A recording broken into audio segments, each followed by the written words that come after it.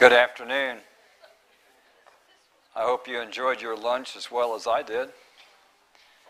And thank you, ladies. I assume, ladies, we may have some chefs in the church, I'm not sure, but thank you, ladies, for putting forth the effort and making us a deluxe meal. It was much appreciated. And um, I think it's a good sign that if you are a cook or a chef or whatever, however you qualify yourself, if you eat your own cooking, that's a good sign, right? So I was glad to see that. Our topic for this afternoon is going to be probably one that puts more fear in more people than anything else, and that's cancer. So you see, we're, we're covering the, the biggies, so to speak. We've talked last night, I wanted to give you an overview of protein so that you would see the significance, not only both in the area of treating disease, but also in the area of causing disease. And we learned from that that in general, a plant based protein, even if it's at a larger quantity than what we need, is a whole lot less of a problem than an animal based protein. But all protein still comes from the same source, and that is vegetables. It's just that when a cow eats the vegetables, they store or produce certain amount of protein that they store in their muscle. When a human eats certain proteins, they do the same thing. That's why we don't eat humans, by the way. Um, so we stay with our broccoli, we stay with our cabbage, we stay with our foods so that we get our food firsthand. See, animal products are secondhand food. You're, you're passing your food through another source. We learned from the World War I and World War II studies that when we were having a famine in the land, that it was a much wiser move and to keep my population alive, but also a lot more healthy, is we said, okay, let's not feed our food to the animals where we get maybe a 5 or a 10% reduction. In other words, to get one pound of beef, I have to feed 10 pounds of corn or 15 pounds of corn. So if I got a shortage, it doesn't make sense for the animal to have my food.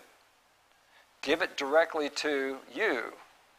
The other principle that we didn't talk about is you always will do better eating lower on the food chain. Now, the food chain is the little fish that eats the plankton that's eaten by the bigger fish on up. So what I'm trying to encourage you is to be like the smallest fish that eats the vegetables that's getting eaten by the bigger fish. And you know where the human is, right, on this food chain line? Uh, we're the big, we're the, we're the shark or whatever. We're, we're the top of the line, so to speak. So I want to encourage you to eat as low as you can on the food chain, which means you go to your own garden and you pick your own produce or you do whatever and please enjoy it. If you're not a gardener, take advantage of the people that are that are gardening. I was wondering what was happening out here in the foyer this morning, and I see all these plastic bags. I'm going, well, what, what does this church do? And then I heard the announcement by your pastor that said, You're welcome. And so it must be an ongoing occurrence. And some guy was talking about a zucchini as big as his arm, and I'm going, well, that's early on this season, but uh, zucchinis are kind of thing you try to get rid of, you know. And ladies put it in bread, and they put it. I mean, they try to hide zucchini. I mean, you just you got so many. Once the thing starts growing, it's like, watch out, you know. Anyway, all that said, thank you, ladies and gentlemen, depending on who cooked the meal. It was a blessing and um, a blessing of good fellowship, too.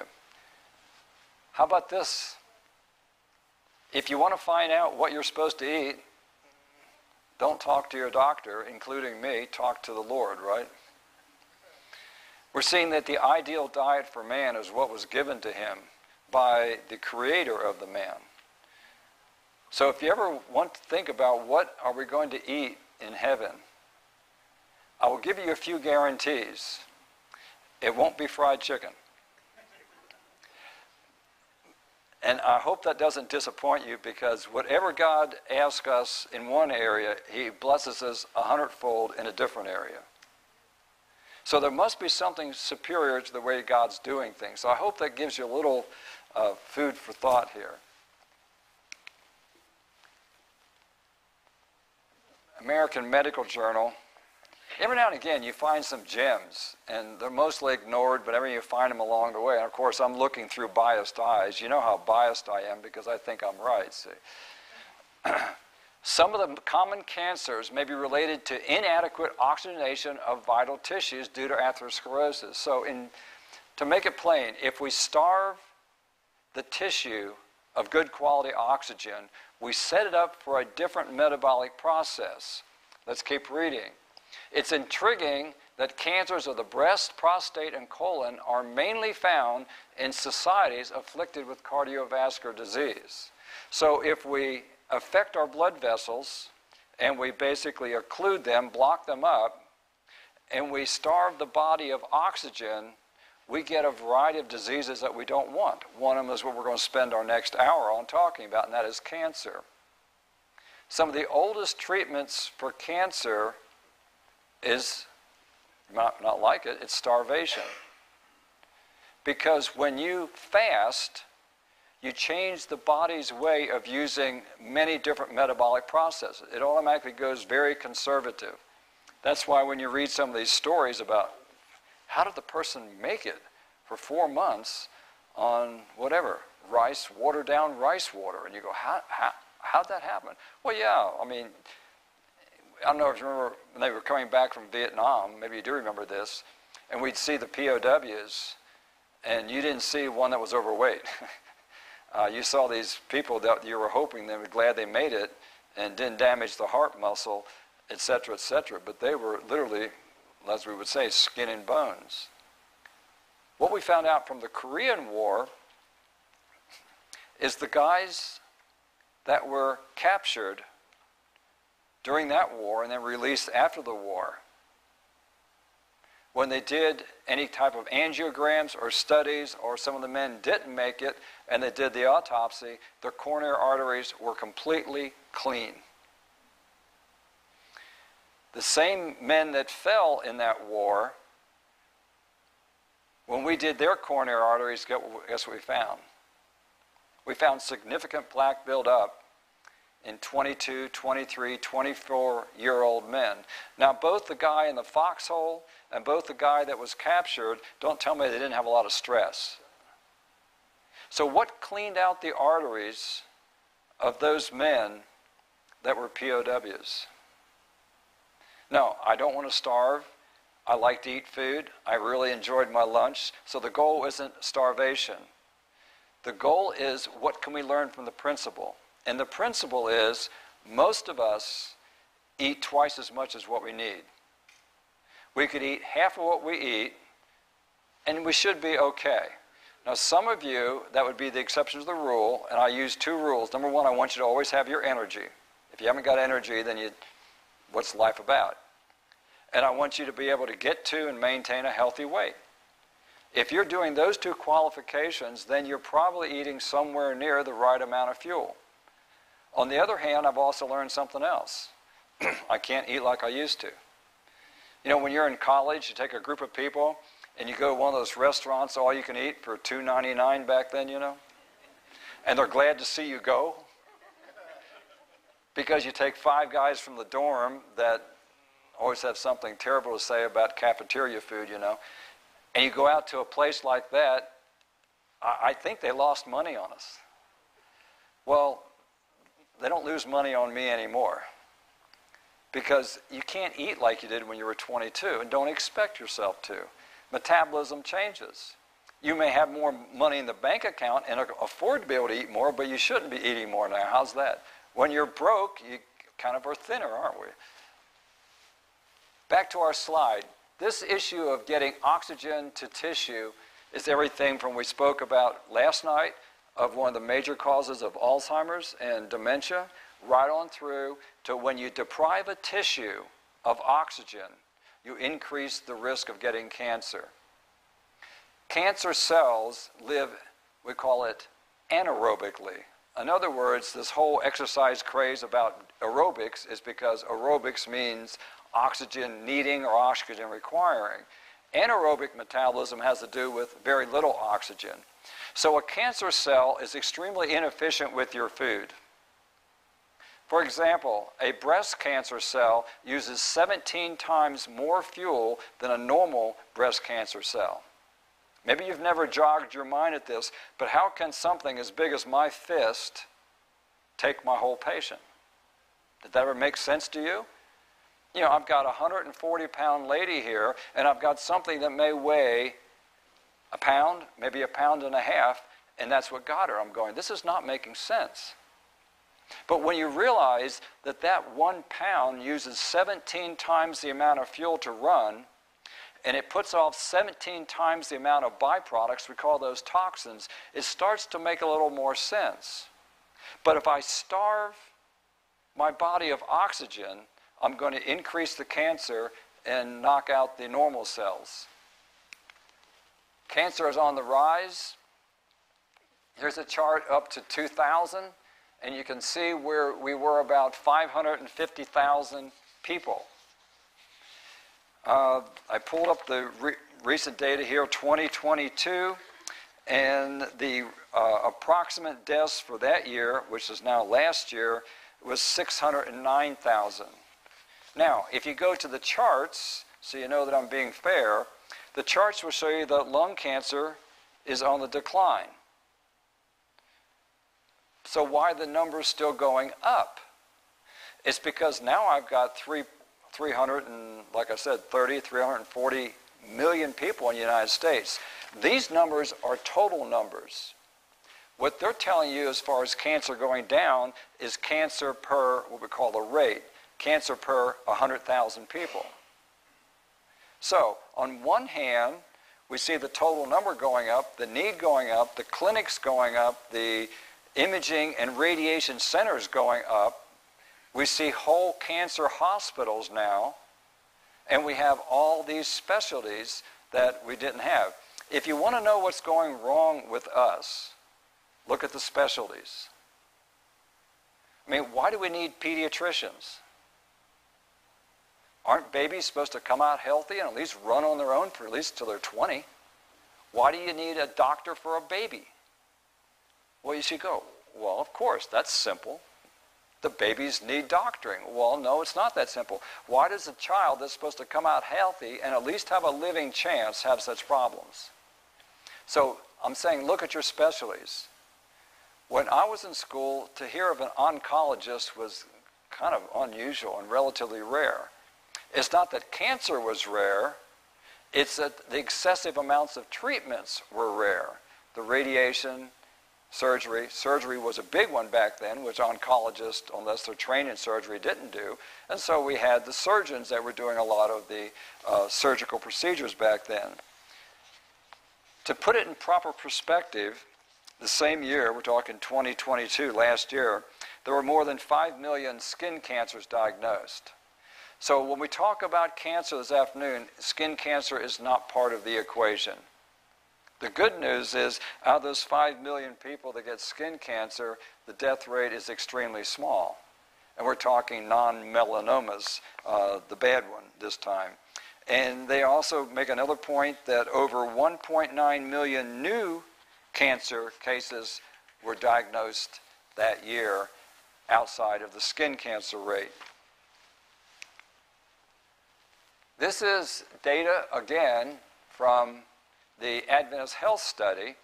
And this particular study has been going on since the 1950s, carried on.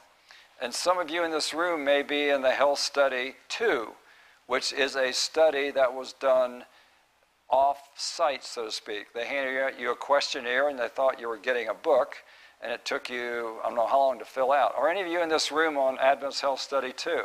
Some of you have taken that, and so we're still collecting data. We've moved out of California and opened it up. I think it's going to be exclusive to North America. So some of you are part of that study. And what we're tracking is we're trying to get make the lifestyle correlation. What do you do? What's your exercise? All these questions. And what's the correlation with disease? This is from Adventist Health Study 1, okay? This is actual California data. So we got U.S. mortality rates for 1991. So we're comparing the Adventist population that were studied to their counterparts living in California 1991. So here we are 30 plus years ago. I showed you this slide this morning when I was telling you about heart attacks and vascular problems. We showed that the meat eating group of Adventists had a much lower rate than the average mortality, because the average mortality would be considered a 100%. They only had 56%, the lacto-ovo 39, and the 14. I want you to look at the cancer side because we're doing a little better. The meat eating Adventists only have 42% of the cancer deaths as the general population. So, what have we done? Well, in general, there's no smoking. In general, there's no alcohol. In general, even if an Adventist eats meat, they do a lot better at getting more fiber. They eat more of their vegetables, so at least we're trying to move in the right direction. If we look at that group, and when you go out there and if you go to a seminar or something, your, your buttons almost start popping because they start sharing you the Adventist health data, and you go, Boy, I'm glad to be in the right group. But I don't think we're doing good enough. I'm not happy with losing my friends.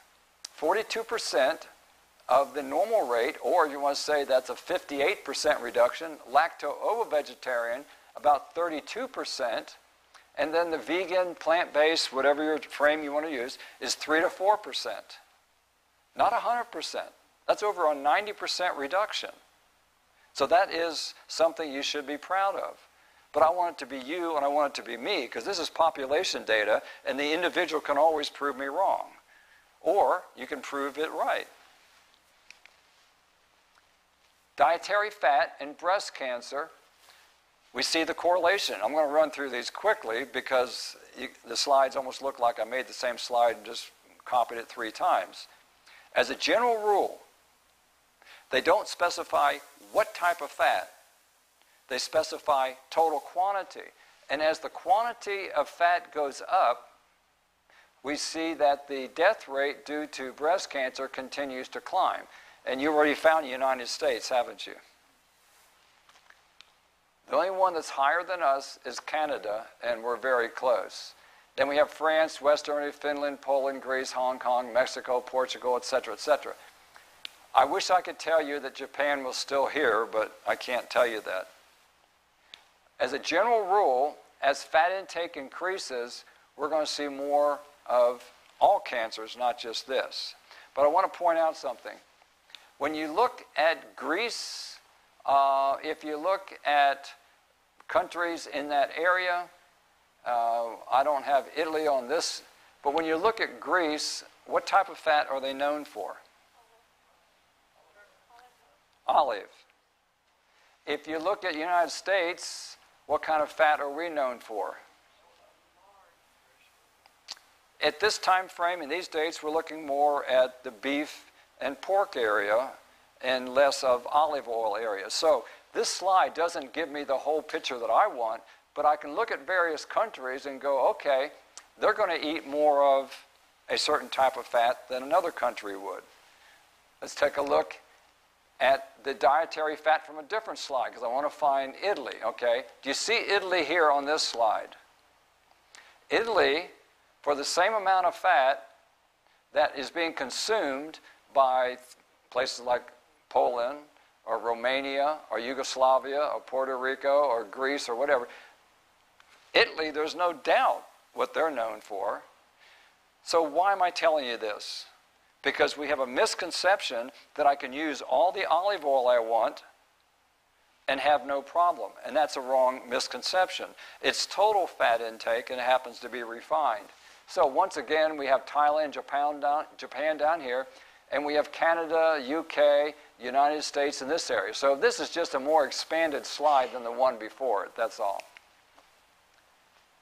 Another purpose that we want to reduce dietary fat in general, and if you're going to eat fats, eat them the way God made them, we look at this.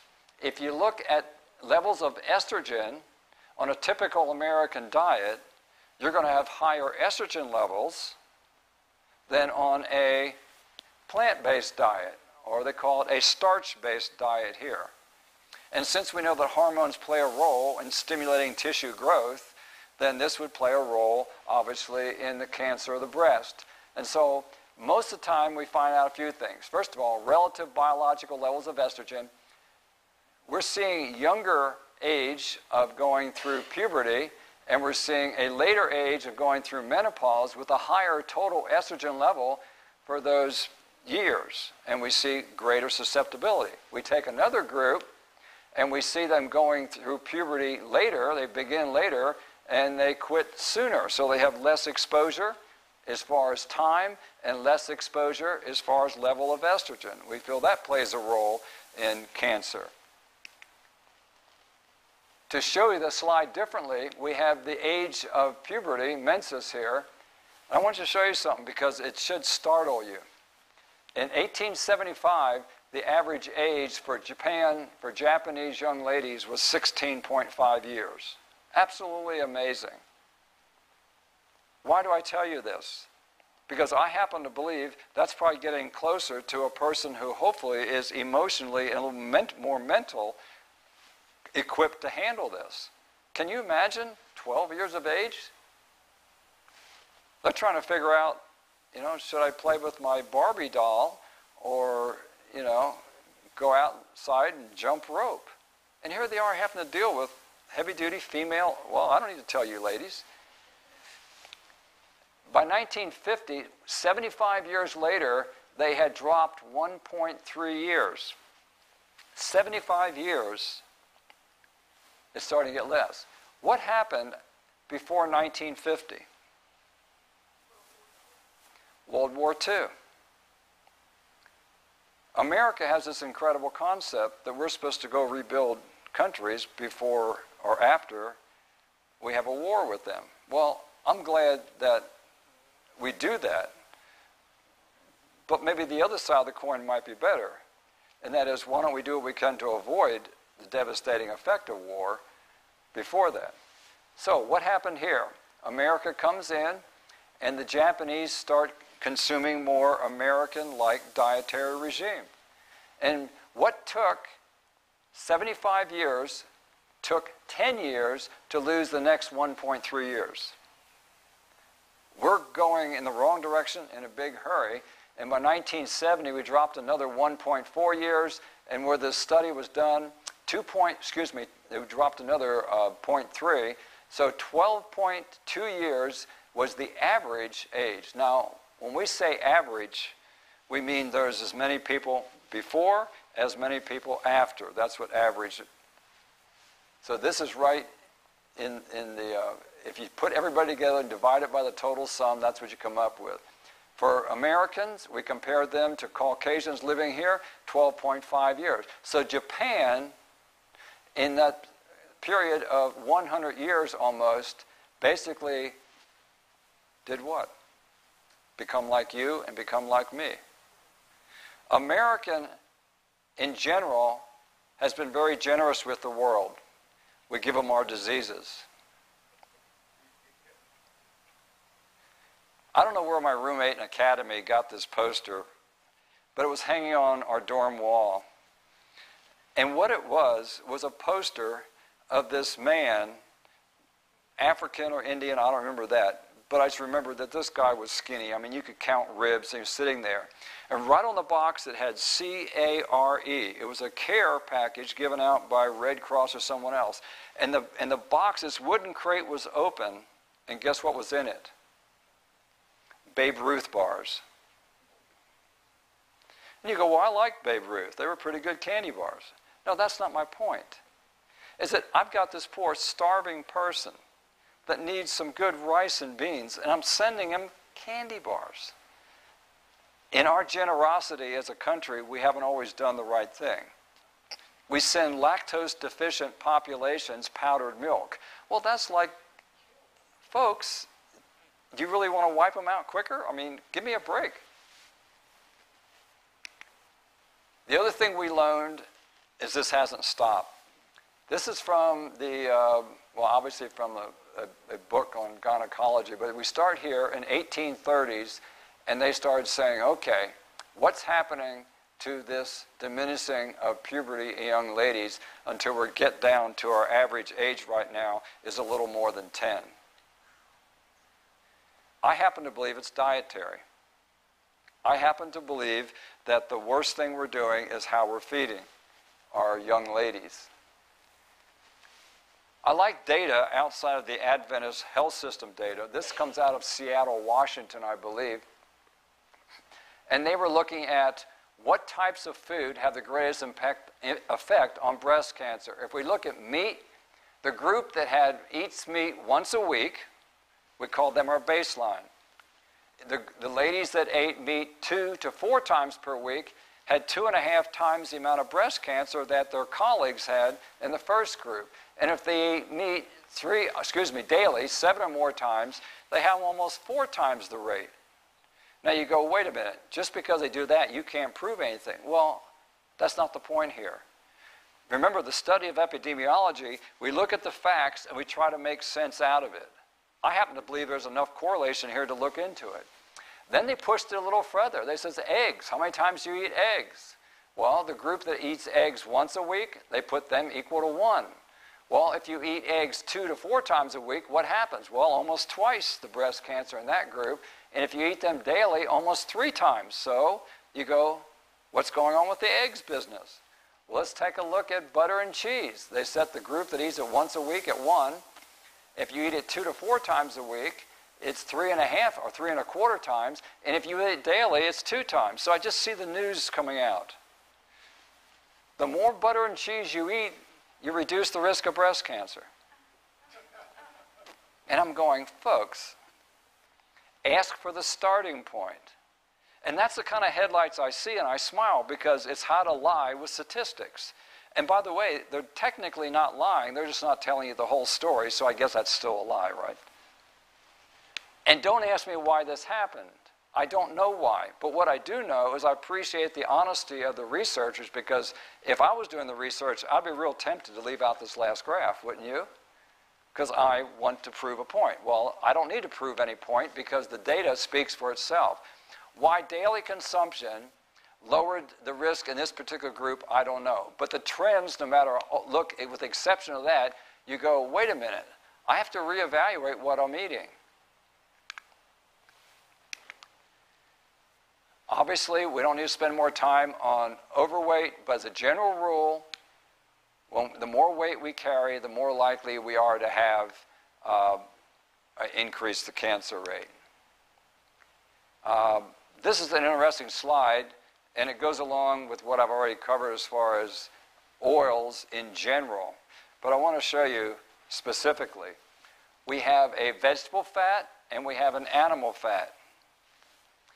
It's percentage of rats. Now, granted, this is a rat study, so relax a little bit.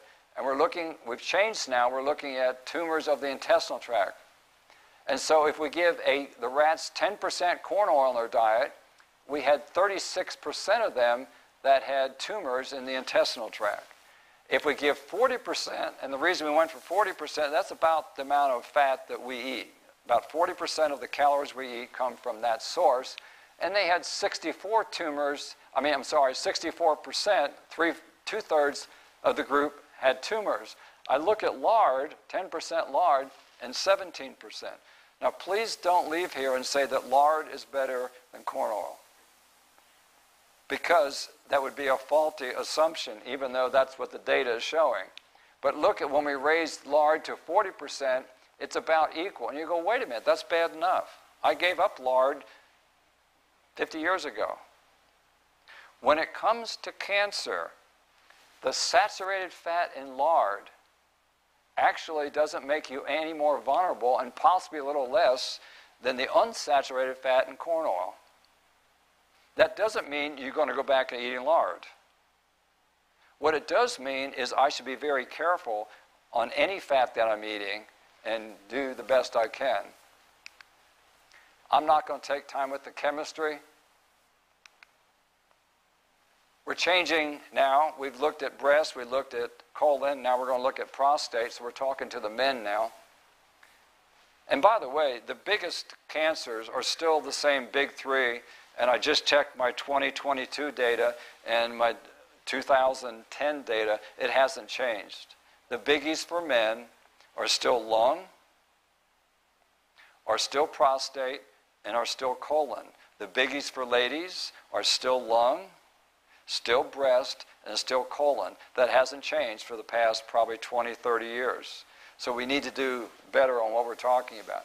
Fat consumption, as the fat consumption goes up, prostate cancers, deaths go up. The good news about prostate cancer is we're treating it a little bit less aggressive now. We went through an age in the late 80s, 1980s, uh, uh, into, into 2000, maybe in 2005, when we were treating prostate cancer very aggressively. And I felt we did more harm than good. Most urologists for men have backed off. They're not doing as much as far as invasive and possible testing that can cause a man to lose everything from quality of life to uh, his own life itself.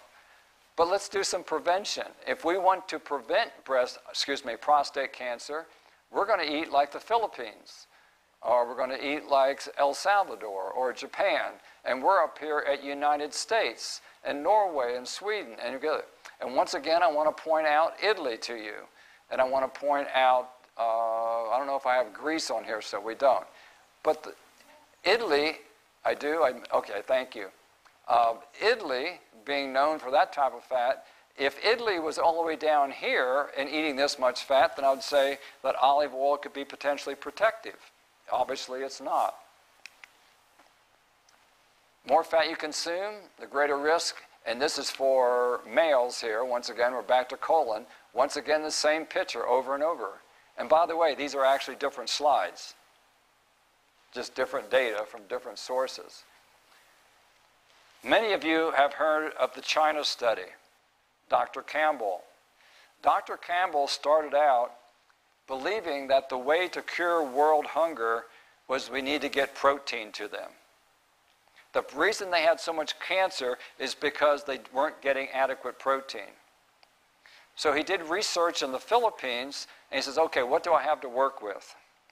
Well, they obviously have a lot of fish on the coast. But how do I preserve the fish and get it inland so these people can have a higher protein diet? Well, that wasn't working out too well because the refrigeration was a luxury, not standard procedure. So that wasn't working out. Well, what crop can I do or what animals can they raise? Well, let's go through some of the data that he came back home. He's from here, obviously, the United States, because what he found out is the data that he kept compiling was the people that got the most protein, the people that were wealthy enough to afford it, had the greatest amount of liver cancer. And he starts going, maybe I need to change what I'm thinking. So let's take a look at some of his data. Laboratory rats, he's back home now, fed different amounts of protein. The laboratory rats that were fed 5% protein had the low rate of cancer growth. The rats that were fed 20% obviously had a high rate. Now, he wasn't feeding them carcinogens. He was feeding them rat chow with different percentages of protein in. Set up another study, two groups of laboratory rats now, and he wanted to push it. He said, okay, we're going to inject high dose carcinogen into those rats, so something that causes cancer, and feed them a low protein diet. So, on a low protein diet, even with a cancer causing agent, he found out that they were low in the response to cancer. And then he turned it around. He gave an injection of a low dose carcinogen and had on a high fiber diet, excuse me, high protein diet, and they developed a high rate to cancer. So his conclusion was even a rat that's exposed to cancer in their lifestyle, if they're on a low protein diet, has a lot less response. And even a rat on a high protein diet with minimal exposure to a carcinogen has a much greater cancer response. So he thought he was onto something and he went on. Now we're looking at a different researcher here. You may recognize the name of Walter Longo. He is a gerontologist studying old people, which I guess as of today I qualify, huh? and he looked and said, okay, What's with this protein thing? First of all, are we overeating on protein? Dr. Campbell says yes. In fact, overeating of protein can actually cause the metabolism to go so rapid, and rapid growth in the body is one of the hazards of cancer. So, on a high protein diet, this came out interesting. In a high protein diet was greater than 20% of your calories.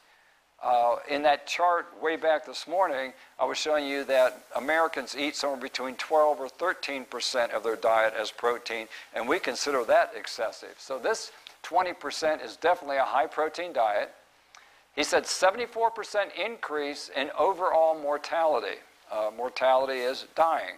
So people on a high protein diet between 50 to 65 obviously die more frequently. And they had a 28 percent reduction in overall mortality if you're over 65. I'm, I'm going, wait a minute. Okay, what's going on here? You're telling me that as I age, I need more protein. Okay, so how's that settle? I'm going, because first of all, I'm having a problem with your data. Or as we get old, we absorb less and I've got to put more in my mouth to get it to my body? Or is my tissue breaking down? Yeah, I know I'm getting more wrinkles and don't have the same amount of muscles I used to. So but then I went, you look a little deeper to explain this, and it says this the group, the high protein group, which means they had a 28% reduction in overall mortality, but they had a fourfold increase of cancer. And they had a fivefold increase in diabetes. And I'm going, um, I don't think I'm interested in a 28% improvement and a 400% change here and a 500% change there. So it kind of puts the data in proper perspective because you're not actually doing that much better enough to justify the diseases we get. And then, of course, he studied two other things moderate, and he also studied low protein. He called less than 10%. And let's go to the, less, the next sign because the next one is going to give us the information we had. When did it disappear? He put it down. The relationship disappeared. In other words, everything we just talked about the disease rate, the increase in mortality, the decrease of reduction, the fourfold cancer, the fivefold diabetes, getting diabetes in these age groups, it says the relationship disappeared if eating plant protein. The folks that ate plant protein didn't get more diabetes, did not get more cancer, and didn't have an increased death rate in that group. So, if you're going to mess up and you feel you have to be on higher protein, please do it on plant. But better yet, we don't need excessive protein. We need enough to make what the body needs. Colon cancer and meal frequency. We talked about Dr. Capps' work before lunch, showing that meal frequency or eating times was as critical for prevention of disease as what you eat. He was looking at timing. Let's look at this. Meals per day, two, three, or four.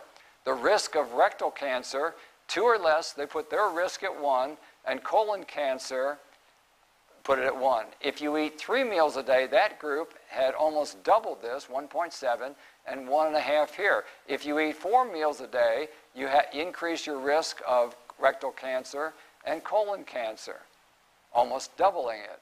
So, what's the take home message?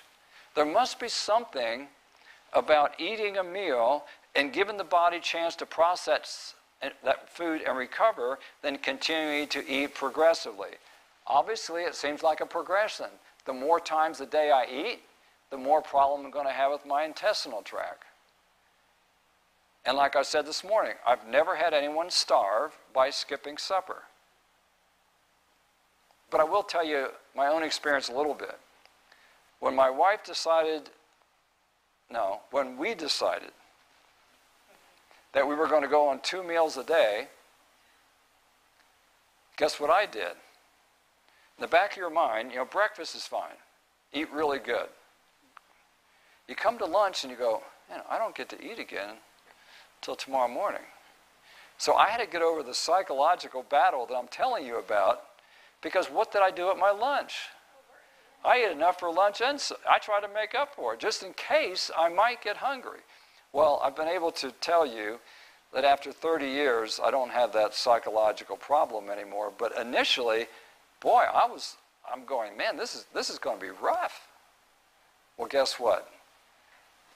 It's almost, I mean, I don't know how many times you tighten up your day, but eating can be also a waste of time. It's usually a good waste of time. But by going from two meals instead of three meals, guess what you do? Most of the time, the cook will love you. Okay. The second thing is, if you're the dishwasher, you don't have to do it twice a day, not three times a day. And by the way, it does consume time. So if you're short on time and have more activities get done, you actually can make yourself a little more efficient. So if you're the kind of person that working too many hours, you know, guilty, uh, then you may see it actually as an advantage. I want to deal a little bit with skin cancer because we don't talk about it on the charts because we got 5 million people last year that got skin cancer. And that's ongoing. And we've blamed a lot on sun. And that is true that excessive sun exposure can call, do that. But I want to get down to possibly a reason behind why the sun can do that. And that is we have on a low fat diet, I'm sorry, let's get up here. Low fat diet decreases precancerous skin lesions. The number of lesions, the number of spots, dots, whatever you want to call it, on a low fat diet, 21% or less of your calories from fat. That actually is fairly liberal on fat intake, but let's go with their data. We had three people was the number of lesions that they had, okay, on this dietary regime. We come down here to the average American diet, which is almost 40% fat, and they had 10. What I want you to compare is the two groups. This group had about one third the amount of skin cancers, precancers, as the other group. So, what have we learned? That the sun may not be the dominant problem with skin cancer. The sun may actually be a cofactor that causes it. But if you're on a low fat diet, the skin cancer goes down by at least a third or to one third of it. So, if we're eating healthfully, we should be able to gain the benefits of good sun exposure without gaining the negatives of what's going on with our skin. So, by the way, I'm still recommending that you go out in the sun. I'm not convinced that going to the beach and getting a super tan is the best way to handle your skin. I'm also not convinced that the skin blockers are really doing the job. The, I should say sun blockers. The sun blockers actually have some chemicals in that are demonstrated may be part of the problem with the skin cancer. Now, shade is always the best way to handle the sun. Why do you think they wear sombreros, you know? I mean, when you can shade yourself, that's the best way to handle excessive sun. So I want to ask you what your favorite hat is when you're out there mowing the yard or working in the garden. But my point is, that's a better way to handle it than smearing cream all over you to try to deal with the sun.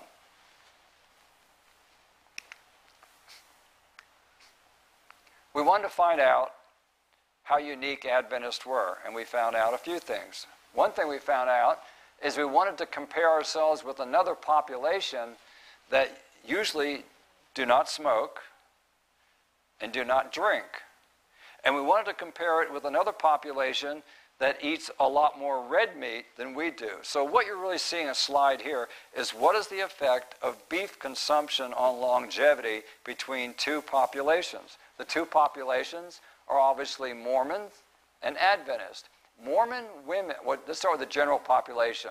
100%, we set them at that level. So Mormon women have less cancer mortality, death rate, than the average population. So obviously they're doing something to reduce that.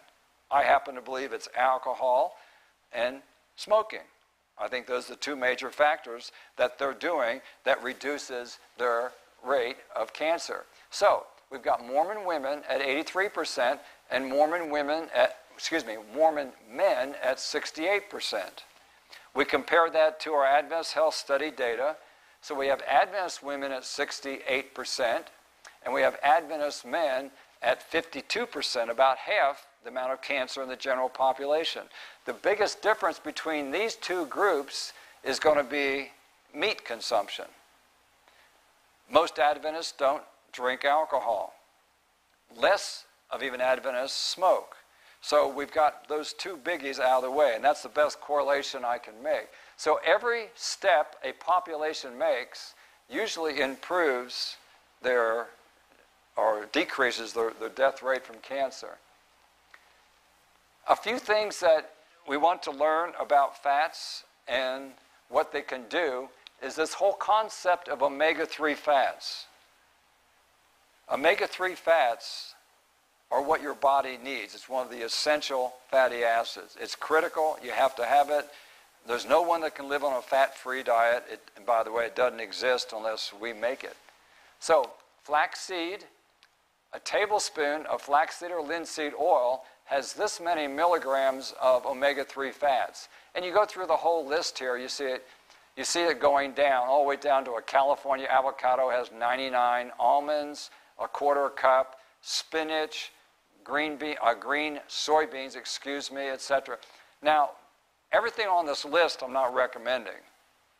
Like, for example, I'm not recommending you go use Crisco, okay? I'm just showing you what it has in there. You will always be best getting your omega 3s from the whole food, whether it be flaxseed itself, whether it be walnuts, black or English walnuts, whether it be soybeans, whether it be spinach, almonds, that's the best.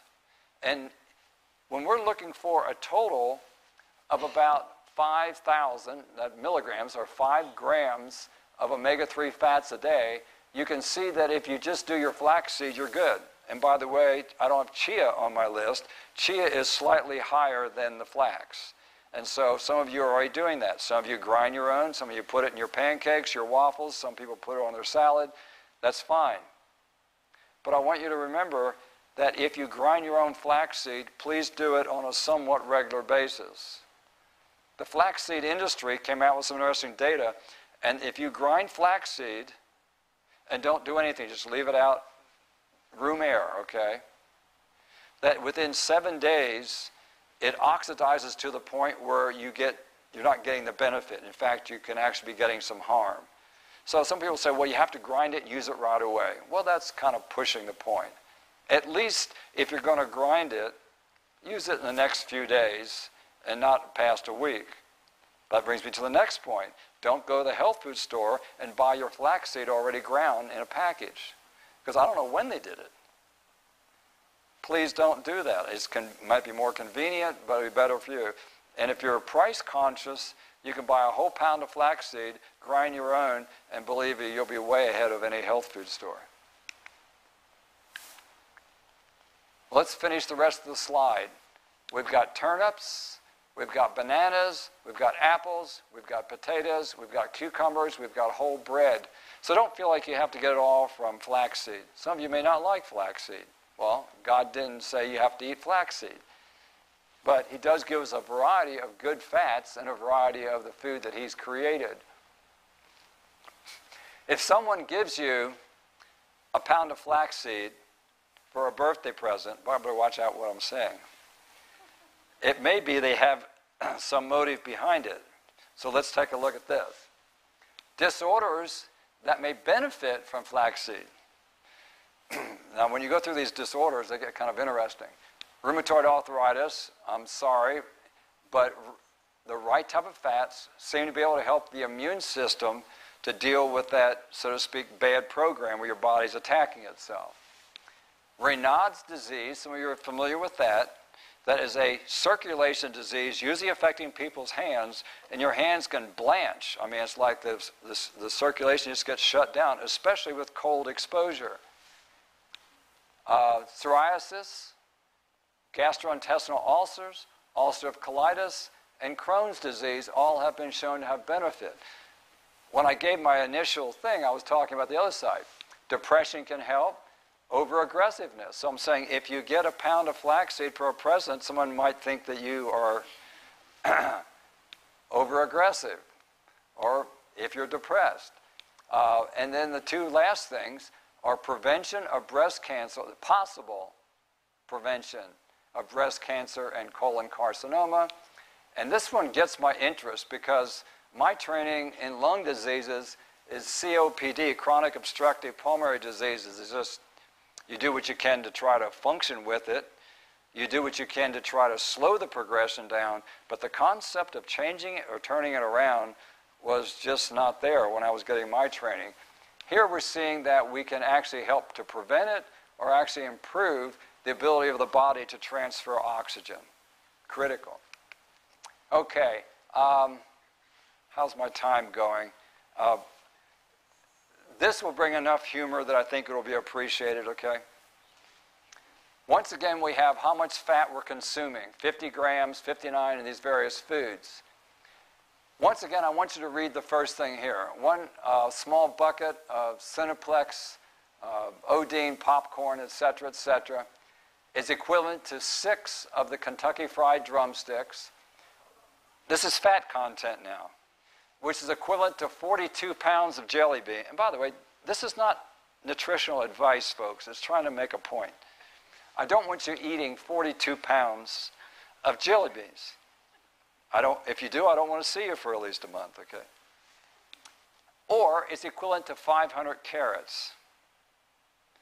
So you can spend, you can watch a movie and in one night blow out 500 carrots. That's the point of the slide, okay?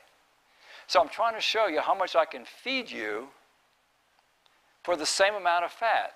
So let's look at another one. Let's come down here to eggplant parmesan.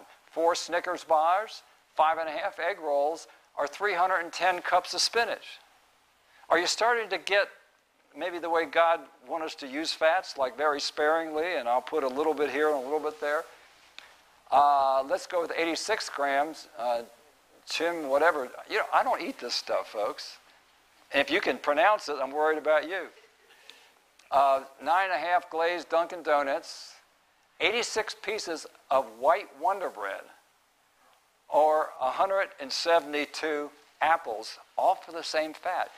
And don't eat this at one meal, and by the time you finish all 172 apples at your next meal, I don't have to worry about you. How about the last one? Fettuccine Alfredo, five Hostess cherry fruit pies, 31 pieces of bacon, 400. He's got a whole year's worth of potatoes for you and your spouse there. For the same amount of fat that someone will eat at one fancy restaurant. Folks, can you afford it? Incredible. Do you wonder why that we Americans are carrying around more weight than what we should? I mean, it's, it, you can't eat this way. You can't eat this way and expect to be healthy. It does not exist. You come over here to God's Whole Foods and you get blown away. You go, how's that for real? Well, it's for real because potatoes are very low in fat. Until you put what? Until you start fattening them up. Um, I'm going to skip a few because I want to hit the foods that are actually preventive. And the reason they're preventive is because of the nutrition they have in it. Let's take a look at vitamin A first. Anything that is yellow, red, dark green. Know, I was looking at my plate when I was going through line. Maybe this time we got, I had carrots. That was beautiful. Someone made some awesome greens. I had some green beans. What I have? Oh, the salad was nice. If your plate looks colorful, you got a good chance of getting some good nutrients in there. Uh, so I got orange jams, one cup, it's going to give me my RDA of over four times, 436% of my vitamin A. You keep, well, it's carrots, pumpkin, sweet potatoes, red bell peppers, or sweet red bell peppers, cantaloupe, uh, mixed or frozen vegetables, spinach, all the way down to collard, and even lettuce. Granted, it doesn't have a lot of nourishment, but lettuce also doesn't have many calories. So enjoy it if you like that in your salad. Eating meat, poultry, and fish increases ovarian cancer. So the lacto-vegetarian, that's the basis. In this group, mortality per 100,000 people, 15.9. Meat once or twice, once, one to three times per week, 18. And if you're eating it over four times a week, it jumps to 26. So not quite doubling between those groups. And I don't have the plant-based person over here because the study didn't do that. Now, let's deal with what we call the elements of a cancer protective lifestyle. We've gone through vitamin A. Proper diet is what we started with on that first slide. Fruits, vegetables, cereal grains, and nuts are basically the best way to nourish your body. Pro- maintain proper weight. Eating this way definitely helps. Regular meals and no snacks. Why are we saying no snacks? Your digestive system is made to process food. For example, the good lunch we had. I expect most of you to process that food between two and three hours. And then you want to give your stomach at least an hour or two of rest before you have your popcorn and apples, which is what. What are you laughing about? That's what Adventists do every. It, it, I mean, it's like tradition, right? I mean, you know. Anyway, I'm being a little bit facetious, and that's fine. But the point is, that I want your stomach empty before you put something else in. Number one. The next rule, I want your stomach empty before your head hits the pillow. So if you're eating at 8 o'clock at night and you're trying to get in bed by 10, you're not going to have the same quality sleep as you would if you don't work your stomach all night. And then you get up in the morning and your stomach says, if you feed me, I'm going to puke on you. And, you, and people say, they say it nicely, I can't eat in the morning. Well, what they're really saying is they work their intestinal tract all night long, and the, and the body basically is giving that signal. It's called no hunger. I, oh, I don't feel hungry in the morning. Well, when do you eat supper? Oh, we eat at 8 o'clock at night.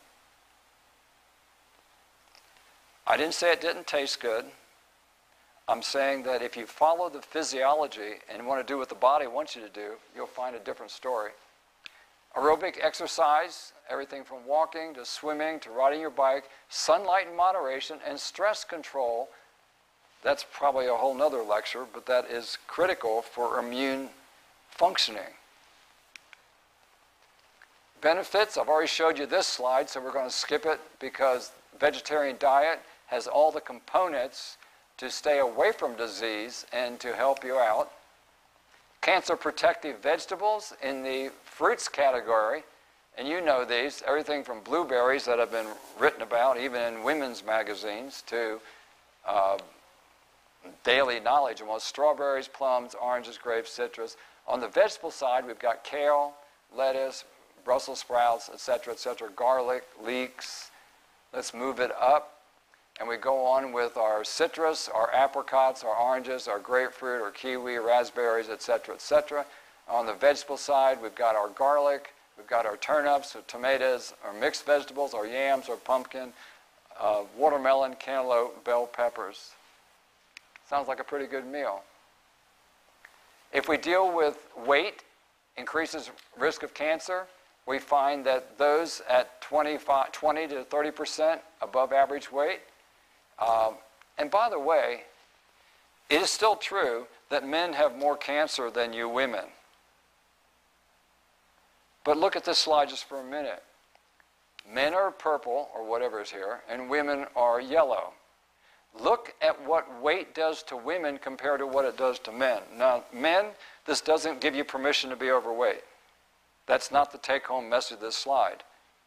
But, ladies, please take home the take home message, and that is that weight seems to be a greater factor, and you're more predisposed to the effect of being overweight. That's what this slide should tell you.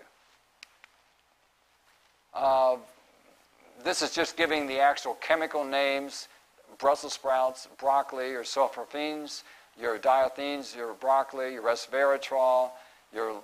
Anyway, we're going through the chemistry that's actually in the food. And so whether you're dealing with caffeic acid, by the way, that's not caffeine, uh, ellagic acid, proteinase inhibitors, etc., etc., all the chemistry is there because God put it there. And you don't have to know the chemistry to eat blueberries because they're not going to taste any different whether you know what's in them and whether it's not, as long as they're ripe. Top 10 top antioxidant, maybe I'm killing this good, but we'll go through it quickly. On the fruit side, you have the same ones we've mentioned. On the vegetable side, the 10 top antioxidant vegetables, number one is garlic. You may lose a few friends on that one, so the best thing you do if you invite someone over, you give them a piece of garlic bread, or you, or you make sure that they eat the garlic first, and then you won't have to worry about losing a friend. If you eat the garlic first before they get there, they may politely excuse themselves. Let's move it up.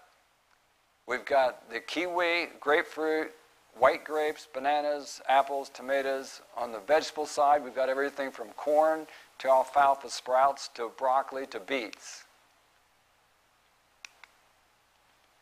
Sources of vitamin E. So we've talked about A, now we're going to work on E for a minute. So everything from wheat germ to sunflower seeds to almond butter to various oils. Like I said, this is a complete chart. It's not we recommend each thing on here. And we move it up, and we're going to deal with everything from our blueberries to our soybeans to our spinach to our wheat germ. All have certain quantities of your vitamin E. Your vitamin C, I know I'm boring you. It's getting repetitive. The same foods that God made have your vitamin E, your vitamin A, your vitamin C already in.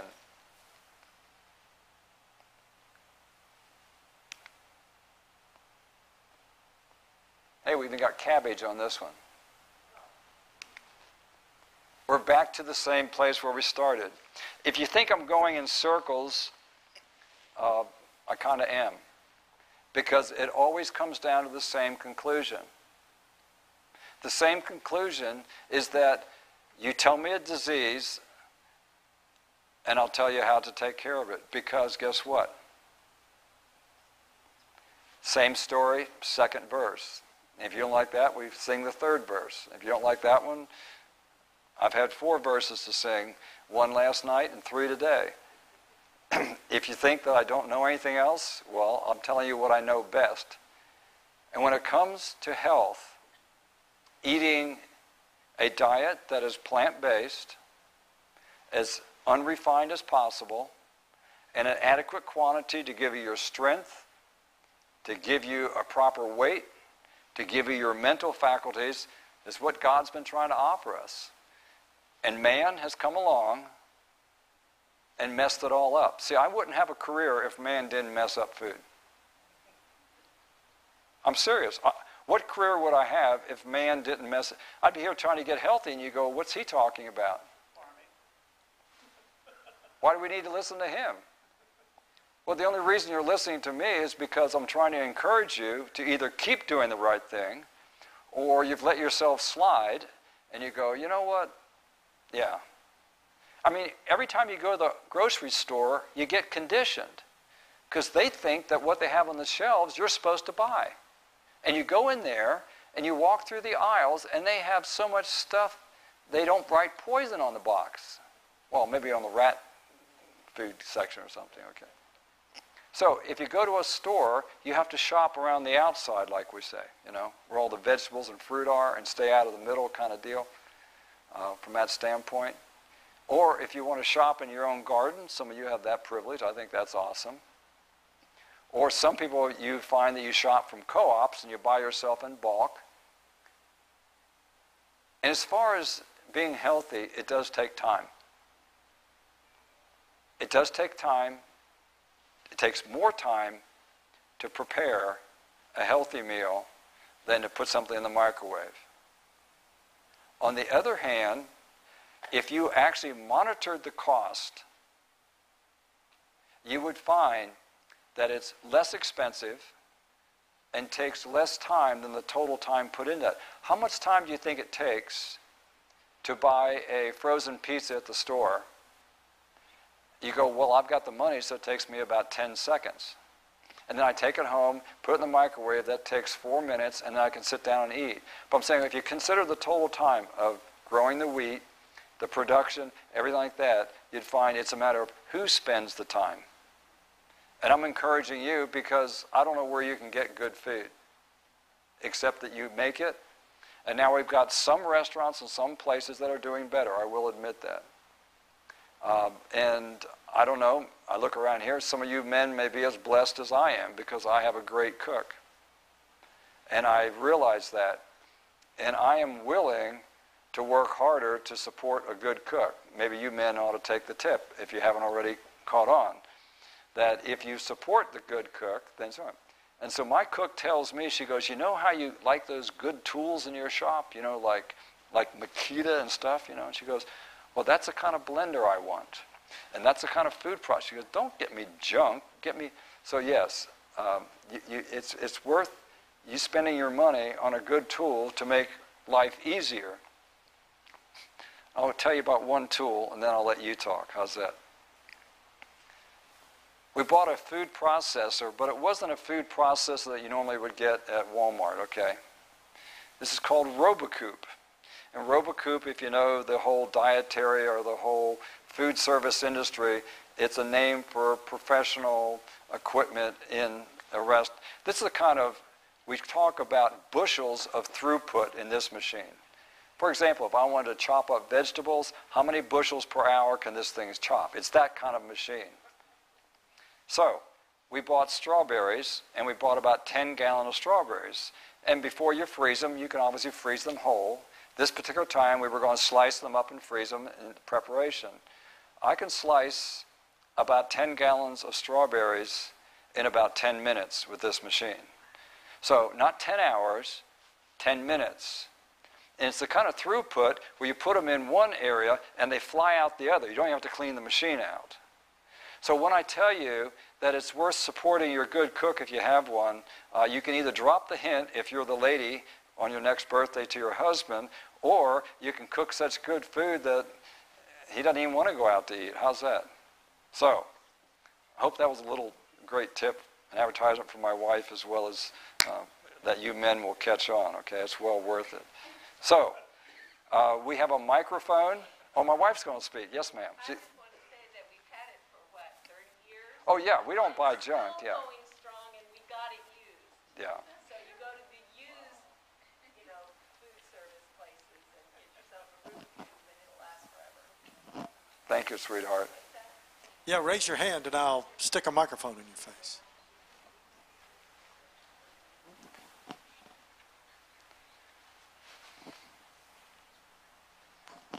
Doctor, I mentioned to you before about GMOs, but I thought the people here would want to hear what you told me. Sure, be glad to. The, the question was about genetically modified, and by the way, I don't even like them calling it organism because I don't consider my corn an organism. I consider it a vegetable, but that's the name they give it. Now, GMOs actually were done not just maliciously for the most part, but yet it can turn out that way. And when you develop a food, if I was the producer, I'd look at it in a few different ways. Number one, shelf life. How can I deal with shelf life? You heard a man here spoke last evening. He said, if I wash my fruits in a vinegar water solution, my strawberries last longer. Well, the answer is yes. If you get rid of bacteria, you're going to have less fermentation. They're going to last longer. Well, what, what if you were growing corn what would you want to do? You want to get the most production with the least amount of weed killers, with the greatest amount of basically time when that corn would still be good before it would rot or ferment or the germ would go bad. So along comes GMOs. So that's the good side. You see, when I do fly, I get to talk to people, and I don't tell, tell them that I'm, you know, who I am because I want to find out what they know. And one time I had the opportunity to sit with a man who was responsible for GMO. Did the laboratory report? He says, We have to hide what we're doing because we are constantly investigated to find out. So Monsanto was the person or the company that this man was investigating. So I had my ear really good. He said, We are still unlocking the genetic code that Monsanto is using in their things. I'm saying, Well, why? Because he saw it as positive.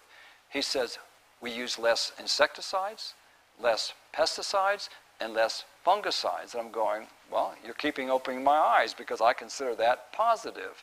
He said, We don't have to kill the weeds as much or you know, we're working through that. They're resistant to this, resistant to that. And so I didn't tell him what I knew about what the GMOs were doing to humans.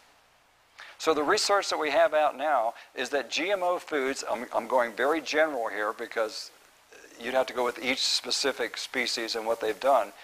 A genetically modified grain, let's take corn for example, means that man can't make genetic material.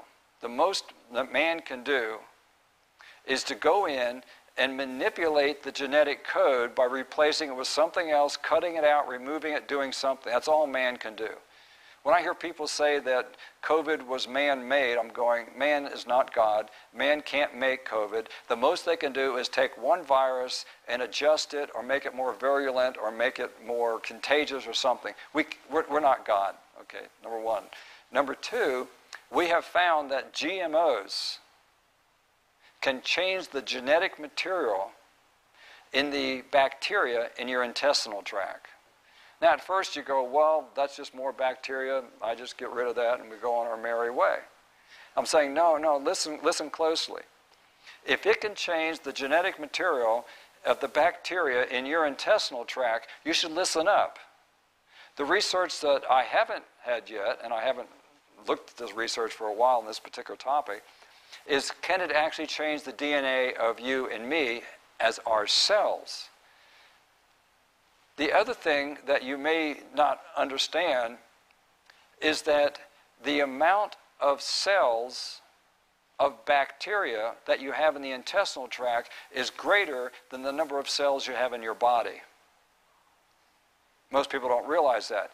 It's, they're much smaller, so you can get a lot more in less area. So let's go back to last night when we were talking about your immune system, and your immune system is the greatest quantity or the largest amount of immune tissue is your intestinal tract.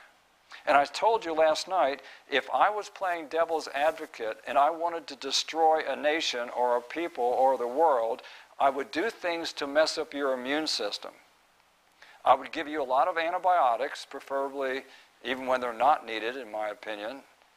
I would give you foods that would inflame the bowel, and I would do everything I can to reduce the bacterial function is a normal function of your immune system, and then along comes GMO foods. I have to add that to the list.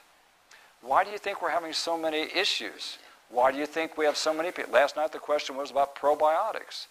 Well, the reason we need probiotics is because we mess something up, not because we, we should never need probiotics, but because we take steroids or we take antibiotics, we change the whole bacterial climate. So, the short of GMO, what I know is that it has been demonstrated to change the genetic material in the bacteria in the bowel. So, it can change a cell, it can change a bacteria. As far as it actually getting to you and I with my kidney or my liver or whatever tissue, haven't seen that yet. So most of you are probably similar to me. You're going to do as much non GMO as possible. I also know that eating GMOs or eating non GMOs is not going to get me off this planet. So I don't like to make it like a religion. But if you have a choice and the ability to get better food, please do it. Now, here's the good news 85% of corn is GMO. The good news is 15% isn't. Same with soybeans. Now, what is the human consumption of soybeans compared to the total? 15%. So it is possible, when they say non GMO, that they're not lying to you and that you can still get your, quote, whole foods non GMO. GMO is different than hybrid. Hybrid corn, because they make it sweeter and that type of thing, is not a GMO. That's like taking mom and dad and they make an offspring. Okay, and you don't say, "Hey kid, you're a hybrid." Well, you may, you know, you know, whatever you want to call him, but you don't call him a GMO.